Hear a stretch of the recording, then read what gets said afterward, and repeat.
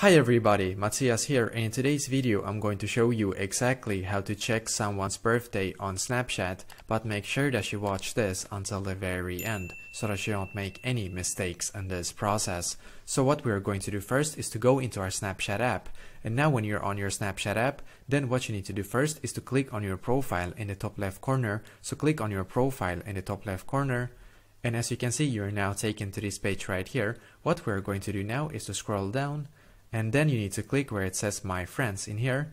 And in here you should be able to see all of your friends on Snapchat. So what you need to do now is to select the friend that you want to uh, like check their birthday basically. So I'm going to do so right now. And when you have done that when you have selected your friend then what you need to do is to click where it says view friendship and that is just underneath their name basically. So click on view friendship. Great, as you can see, you're now taken to this page right here.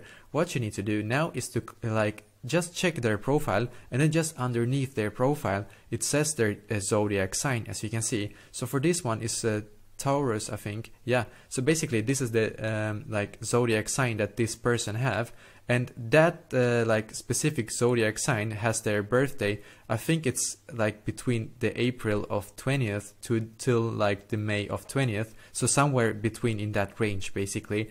Uh, unfortunately like Snapchat does not like give us a specific date um, unfortunately. So there's really no way to view like a specific date on here but you are able to view their uh, zodiac sign and you can maybe like guess from that basically. So basically this is exactly how to do so. So let me know in the comments below if you have any questions and I will do my very best to try to help you. And also please leave a like on this video and subscribe to my channel because I'm doing a lot of helpful videos constantly that might be very useful useful to you. Thank you very much for watching and I wish you an awesome day.